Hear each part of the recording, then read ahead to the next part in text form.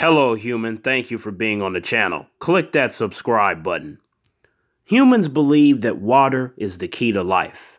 But what these creatures seem to forget is water can also take life. You once had a nice village, 1,000 humans strong. They were happy because happiness is an emotional high for humans. The majority of humans strive for happiness.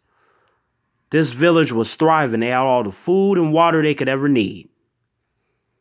One day, a giant wall of water was heading towards the village. And this giant wall of water had blood in it. And the souls of various victims it claimed in the past surrounded the water. The villagers didn't know what to do. They were like, oh, fuck. They tried to run, but there was nowhere to go. Soon enough, all the villagers were killed by this giant wall of water.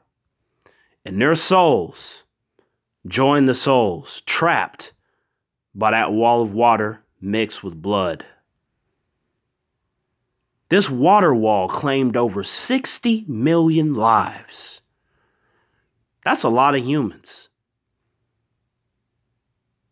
It comes and then it goes. No one knows why.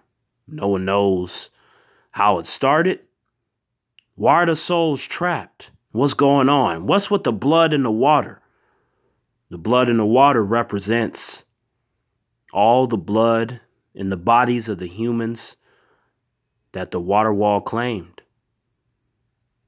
This water wall shows up every 50 years to kill millions of humans. The humans have yet figured out a way to stop it.